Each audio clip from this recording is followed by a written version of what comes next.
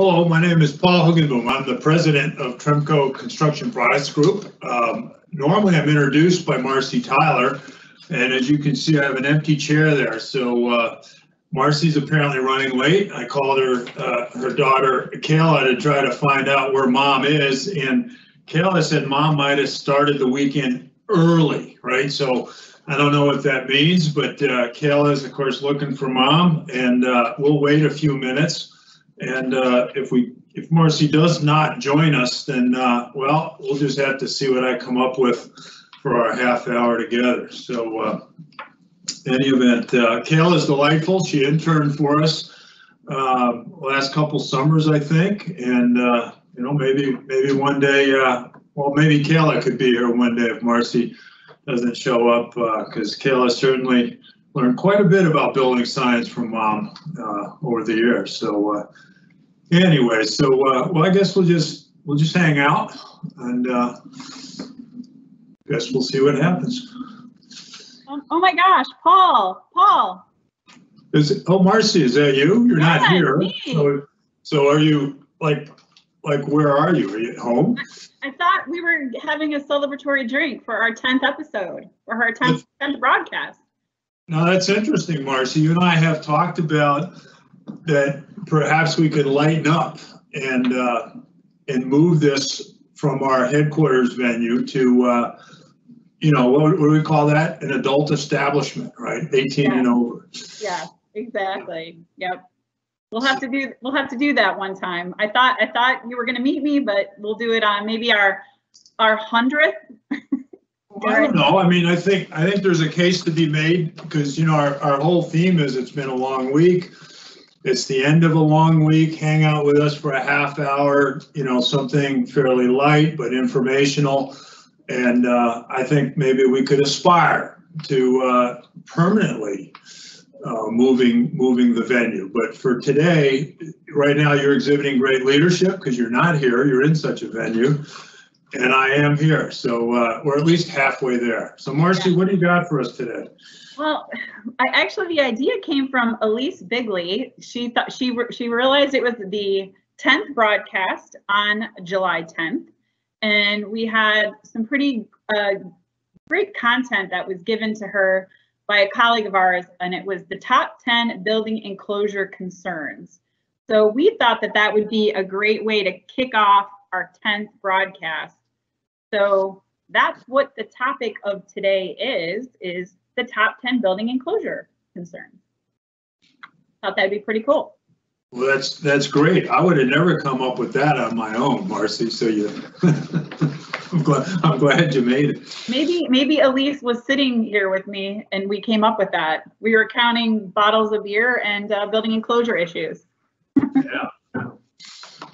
So, um, as always, we like to talk about things that are going on in the industry, and um, this is part of uh, when we have customers come through, right? When we have our tours, we talk about, you know, why do buildings still leak? Um, moisture and energy leaks are common despite everything that we know and we're educating everybody on. So we're looking for responsibility for quality control, spec enforcement, building envelope integrity, making sure that lowest price isn't the one that's technically accepted and that whole by others. And I think that's a huge part of where we play today. When you you introduce us every week, we talk about the Tremco Construction Products Group, right? That fine collection of products, custom um, systems, and people. And I think that's where we're really trying to focus on is the education of that holistic approach to that whole building enclosure. I think the other thing, Marcy, that that that always that always strikes me is it's really about teamwork, right, Marcy? And you always um, deliver a real powerful message that n- nobody alone, certainly not Tremco alone, can get to a, a high quality building outcome. It's really a it's a it's a true partnership of everybody involved from the from the beginning of the concept and the design of the building right up to the final commissioning. Exactly. Exactly. Yep. That that whole um, team effort, right, for the the owner, the design professional, the installer, and of course material supplier coming together, working holistically, so that we don't have schools that open in September and then they're closed in November, or connectivity issues where products were incompatible or thermal bridging or thermal inefficiencies, right? So all, for all those reasons, we want to educate and stay focused on that. This information was brought to us by a colleague all about, you know, building envelopes today, and this is from Zurich Insurance. We pay out hundreds of millions of dollars every year in construction claims. This is a quote from them. And 70% of those are due to water and moisture issues in the enclosure. And we know 90% of those are lack of terminations, right, and connectivity. Yeah, it's it. It's interesting, Marcy. As long as you and I have been doing this, you know the the thing that we've tried to do to simplify it is, as Tremco, we run to those interfaces, right? And yeah. and again, those are where you have two components coming together, and it's not clear. It's generally not clear as to who has responsibility for that. And the and the thing that you know we always like to say is we want you to think of Tremco as owning that interface. And we, we strategically as a company look to run to that interface and solve that problem. Exactly. Yep. We, we want that ability to solve that problem and make that design challenge.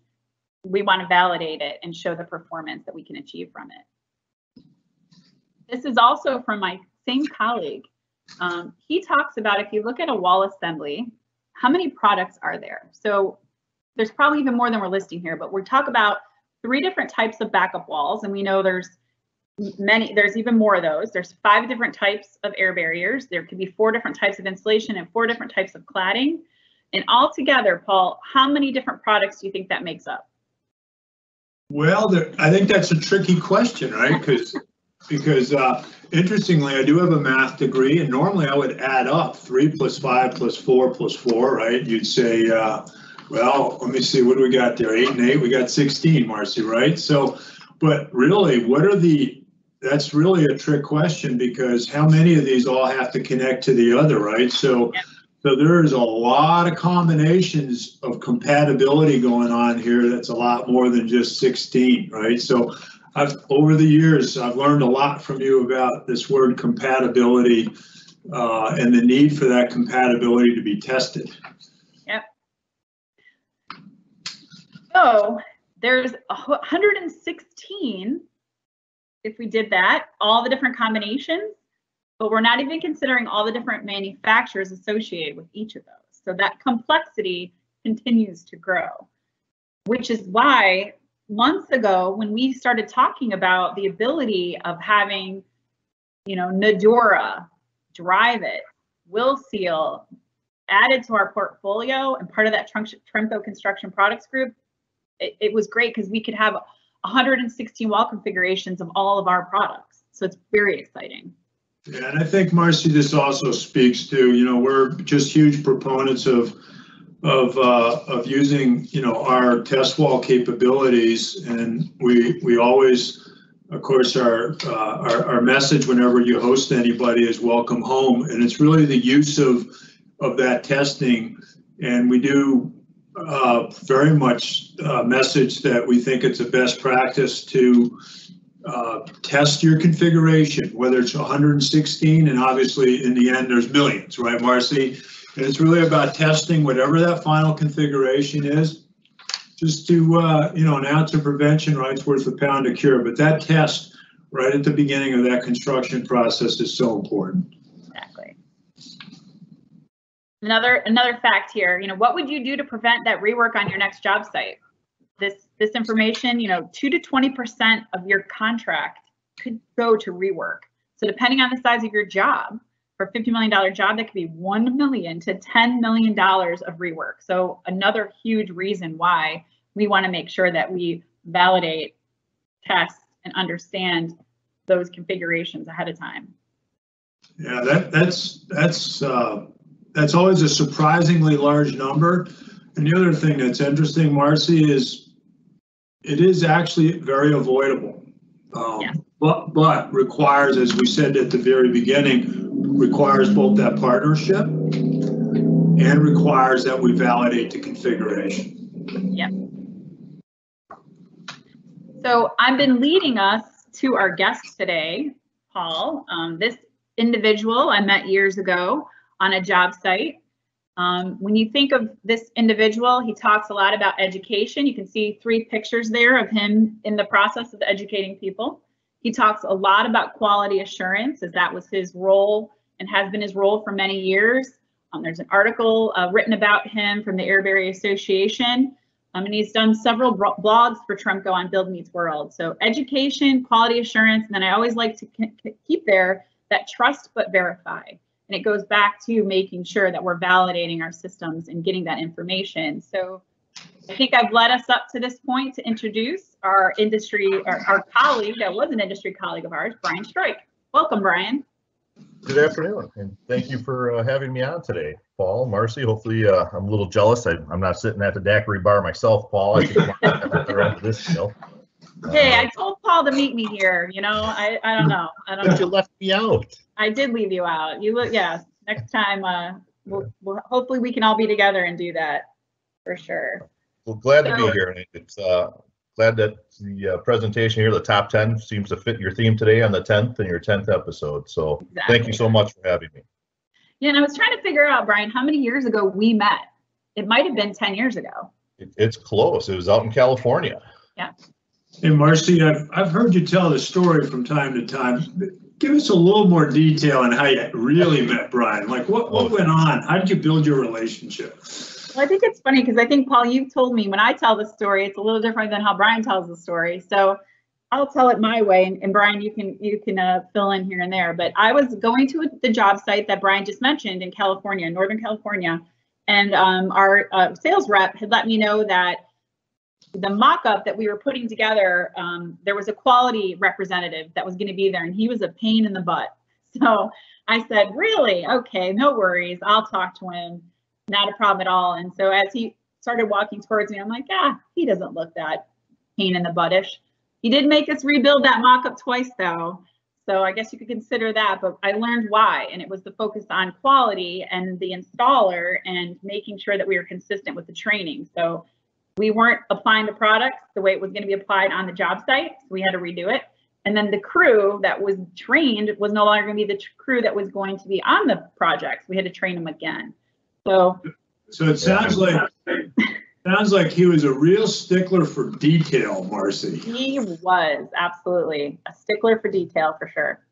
Absolutely. No, that was a fun project though, a very successful project. So yes. it was that mock-up was critical. It, it goes back to that test but verified one of my favorite phrases when I speak. So yeah. I appreciate you putting that in there in the intro.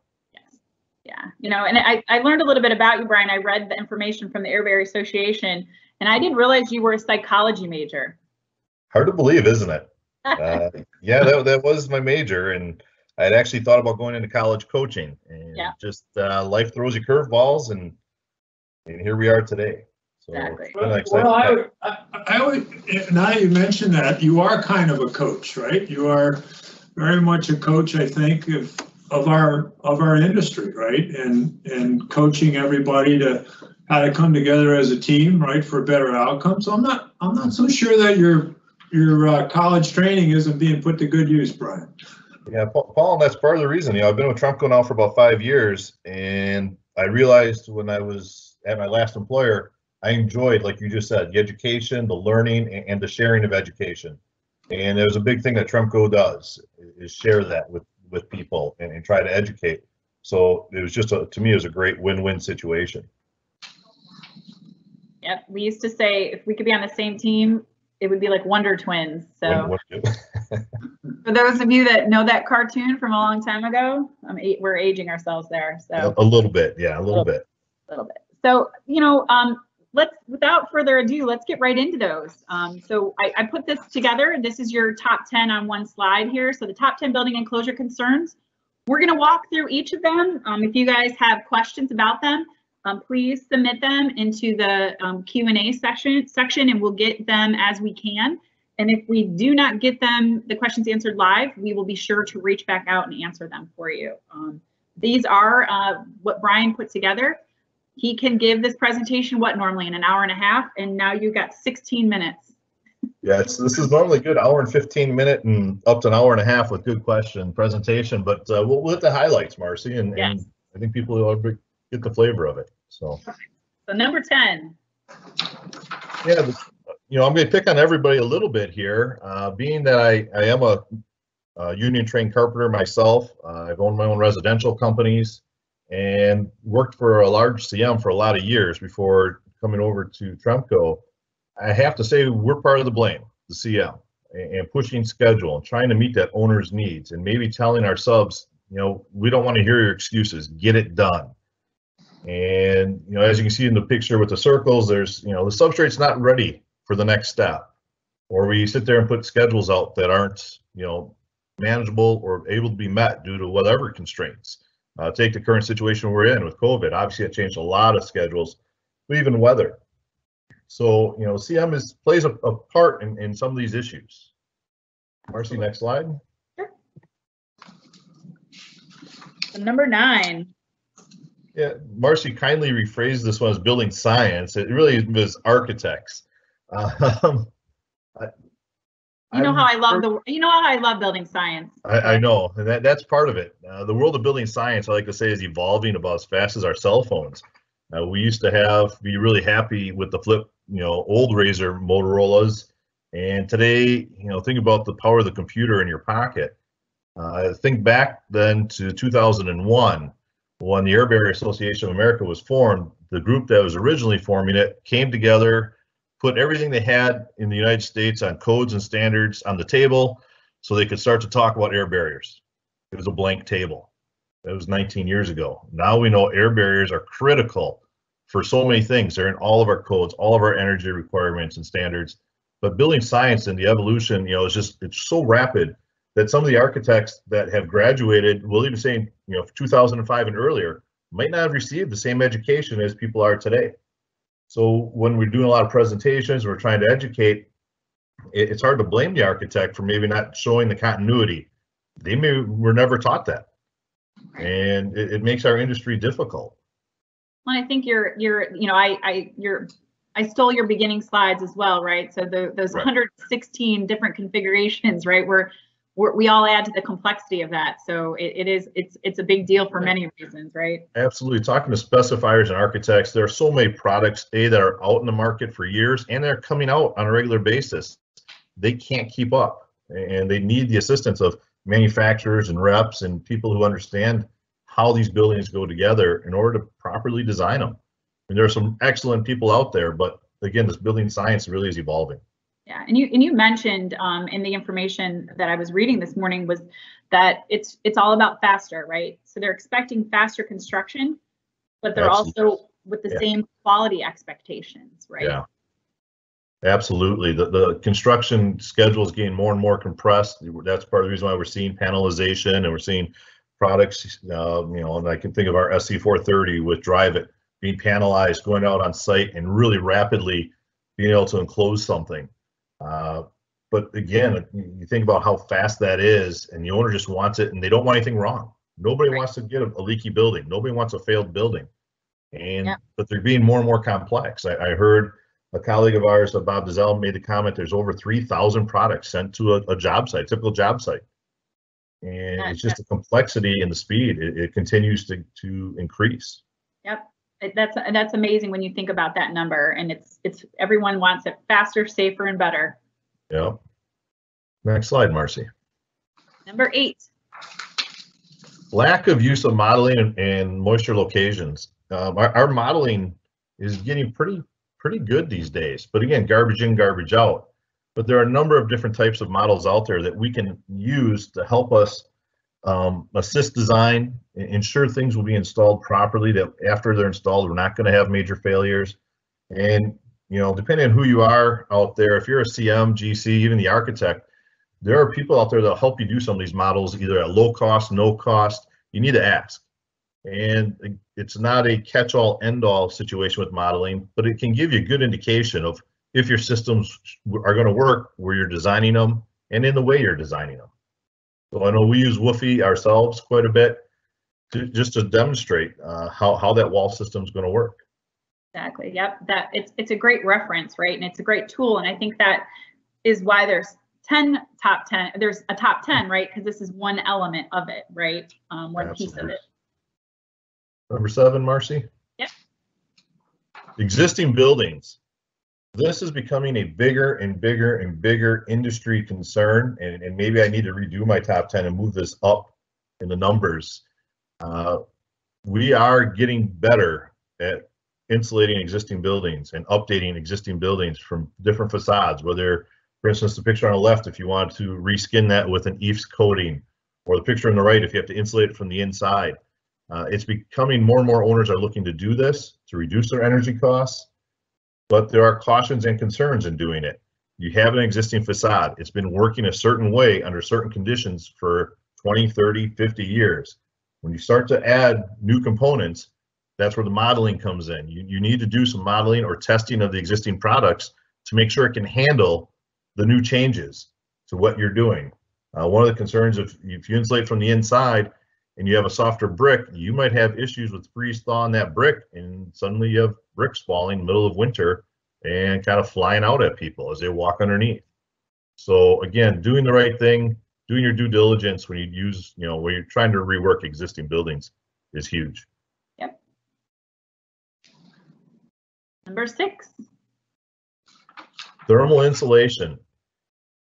This one's been very interesting. The picture on the left was actually from a project of mine probably in the mid 2000s. And you can see it's rigid insulation on the outside of a building and every joint, I'll say, is quote unquote buttered with an expanding foam. There, there are no gaps. So there's an air barrier material behind it. The insulation is good and tight. It's on the outside of the building where it should be. And it's a really good building. But there are problems when we build. Uh, the middle picture is showing a good standoff. When people want to use things like lintels or different types of uh, fasteners coming through. You have all these thermal bridging, or you have some areas of the country where they're still putting all the insulation in the walls.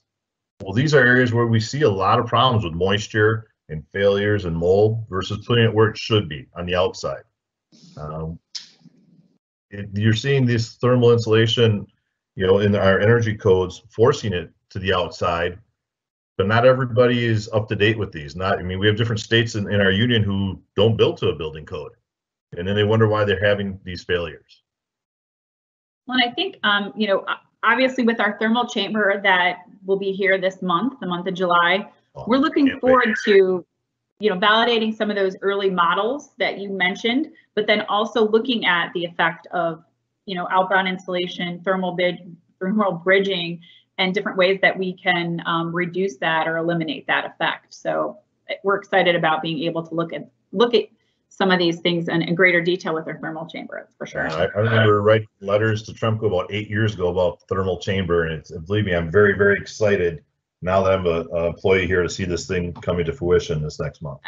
Yeah. What's interesting, Marcy, when you mentioned the thermal chamber is, and we know this, every time that we create a new testing capability, we generally get things proven out that we always thought were true, and then we get a lot of things shown to us that are really, I would say, counterintuitive. And what's interesting, Marcy, is with the thermal chamber, we're really doing work that's never been done before, right? So uh, um, that surprised me. Some years ago, when you sat me down and you said, "Hey, Paul, we need to do this," um, I was I was honestly surprised, right? I'm not I'm not I've not grown up in this industry like you and Brian, and I was surprised that we're we're really charting new ground with that with that thermal chamber. So it's going to be a very exciting year one, and I get the feeling that Brian's going to have quite a bit of influence on what we test. Oh yeah, I'm I'm Paul. I'm very excited for this thing to to kick off. That's for sure. Marcy, number five. Trying to keep you in your time limit, Marcy. So Yep. No, we're good. spray polyurethane foam. Uh, it's an interesting product. It's one of the few products actually manufactured out on site, and it can work very well. Or as you can see in the picture on the right, it can cause some headaches. So again, just be cautious with this product. Make sure you understand the installation. Make sure you understand again the connectivity to other parts and pieces. It does give off an exothermic reaction over 200 degrees. So depending on what flashings you're using, it can melt flashings. It can uh, we've, we had one story at ABAA where it actually got a call as the house was burning down because the exothermic reaction was so high, it caused the OSB it was adhered to to start up in flames. So again, it's like anything else. Understand your products, understand what they're connecting to, and make sure you, you fully understand what you're doing if you're gonna use this product. Well, I- that's a, a a question that just came in was just actually just about that, you know, understanding limitations. So that was what, what the question was about was limitations. And I think the, the best way to answer that is what I always like to say is partner with your manufacturer, right? Know Yeah. the manufacturer, make sure you've got those limitations up front. And I think as we approach, as we're getting close to one, there's going to be other ways that we can communicate this stuff Yeah. that are part of your top 10. Absolutely. Just real, one final thing there. Yeah, partner with your manufacturer, understand, uh, in the United States, anybody can spray. And there are some organizations that certify sprayer, sprayers. If you're in Canada, you have to be a certified installer. And it, it's a big difference. So you can get anybody in a pickup today installing spray foam in the US. That's a scary thought. Yeah, absolutely, it is. Number four, Marcy. Installation, this goes right back to number five, understanding how materials are supposed to be installed, using, you know, for instance, on the left-hand side, if it's a fluid applied, do you have the right wet mill thickness? Is somebody checking that? Um, I, I remember as a QA, QC manager, having seen the bare block and having the installer tell me, well, it tells me so many square feet, I sprayed so many square feet, I'm done.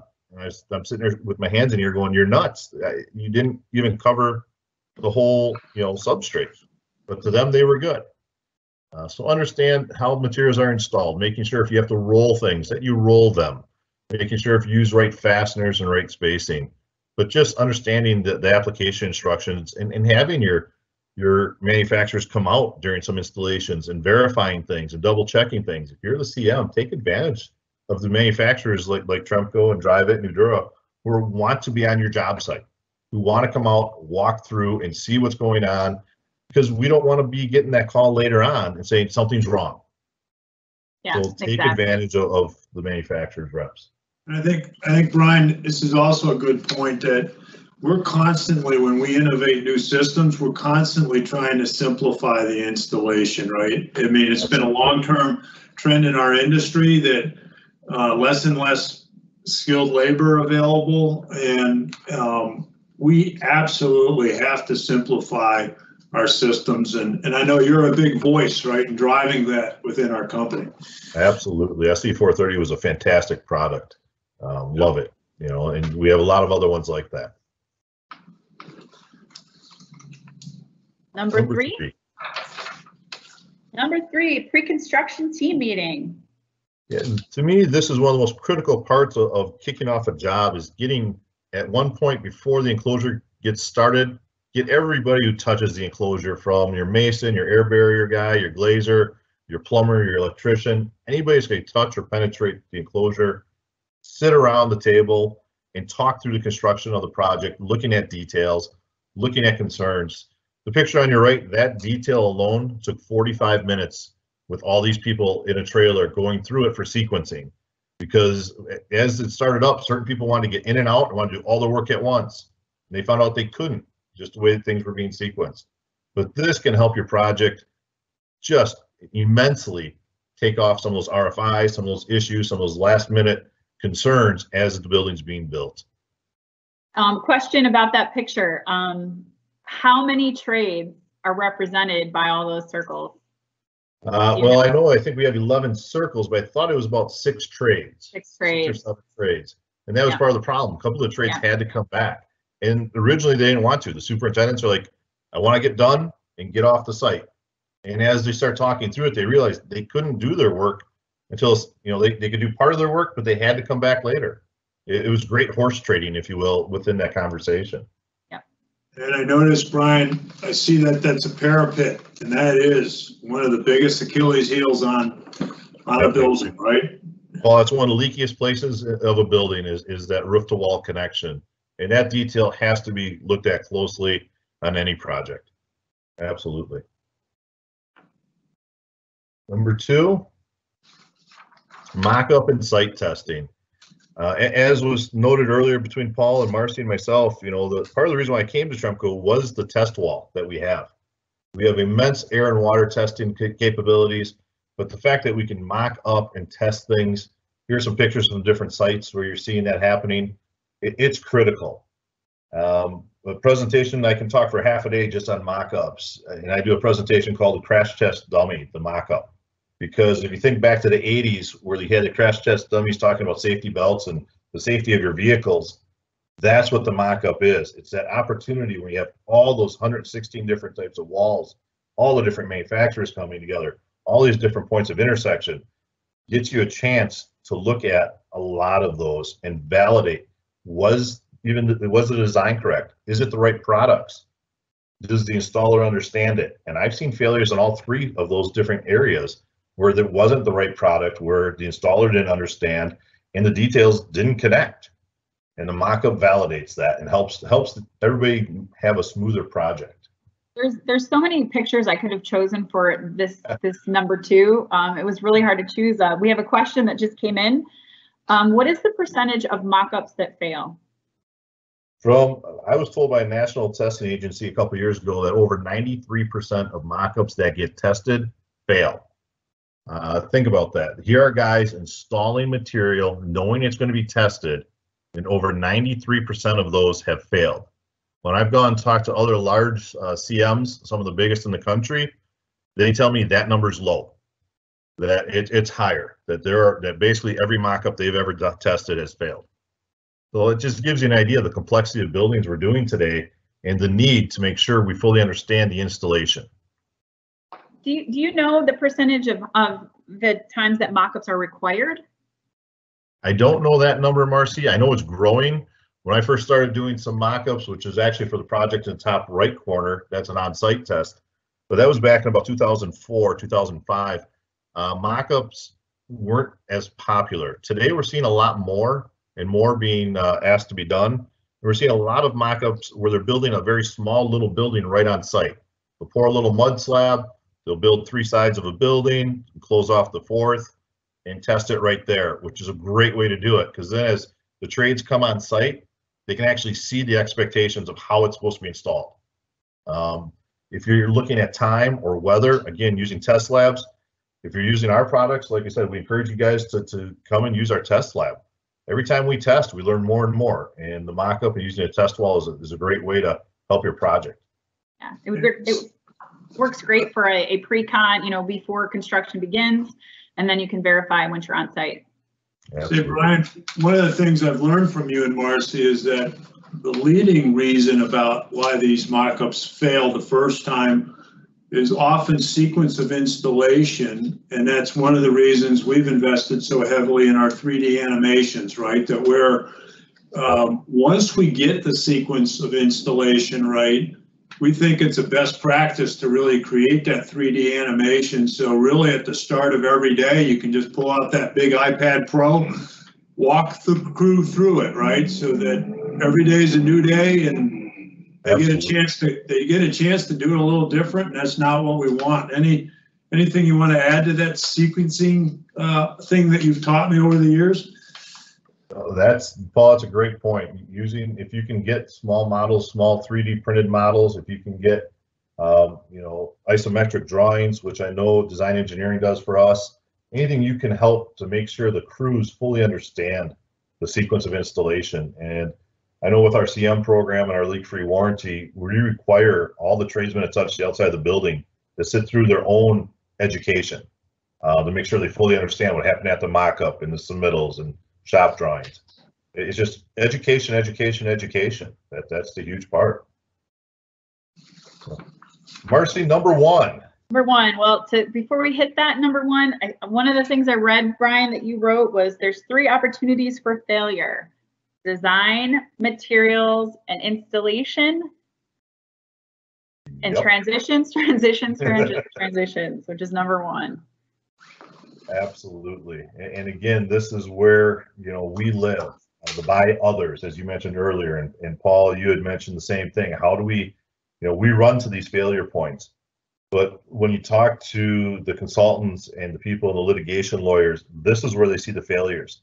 Whether it's a roof to wall, a window to wall, wall to foundation, those transitions where one contractor leaves and another one starts that's where these failures are coming in and that's where we get called back and there's lawsuits and there's potentials for mold and other things and that's where cpg and tremco again we, we live here this is where we can help people out um, we can really work through these pre-cons and the mock-ups and give suggestions of multiple ways to solve a solution uh, or solve an issue.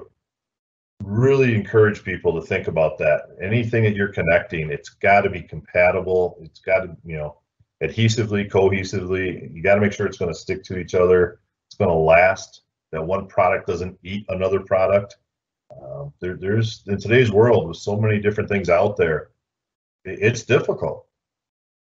When I there's a one of the presentations I've given, um, I show technologies aren't all created equal either, right? So you could have a technology base and, and feel as if you've got the knowledge of adhesion and compatibility, but because they're not all created equal, there's different volatile content in each of them, there could have different results. So it goes right back down to something so simple. And I think on the previous slide, we showed complicated mock-ups.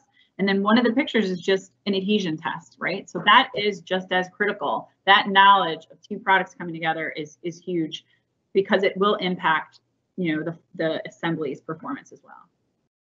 Absolutely. And there are so many points and places for errors to go wrong. So again, it goes back to the mock-ups and the testing and the training. Exactly. Well, um, that's our top 10. Um, if, if I know, Brian, we made you go through that way quicker than you normally would, but it has been written up fresh off the presses today. Thanks to Elise Bigley, um, working with Brian. We've got the top 10 building enclosure concerns as our most recent Build Meets World blog that you can find on our website.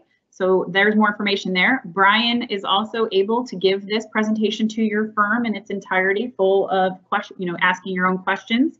If we didn't get to anyone's questions, we will uh, via email. I uh, just want to close off with just saying, you know, we are here as an organization. We want to help you as much as possible so that we can reduce this risk that you see on your projects in every step of the way, providing warranties for that entire enclosure, a variety of integrated systems that come to you from that Tremco Construction Products Group, all the technical support, testing and on-site protocols, and my beer is getting cold, Paul and Brian. so to, to officially celebrate our 10th broadcast, I really want to thank Brian for um, being able to be our presenter today and provide us with this great content. Paul, I'll be sitting near you soon next Friday. Uh, I, I, don't know about that. I think you might. I think you might like where you are right now. I'm gonna have to. I'm gonna have to come sit with you. That, that's good too. We can do that instead. I like that. I like that. So, um, I, like a couple more questions were coming in. Just being respectful for time, we're gonna close it off here. Um, next week, we are gonna focus and continue um, our connectivity. Our connectivity. I cannot talk. Connectivity series for the month of July. So look forward to content each Friday in the month of July, focusing on what Brian said is our top or the number one of building enclosure issues is transitions. So that's why we chose it as our topic for this month. Thank you, everybody. We look forward to seeing you next time on Tremco Live.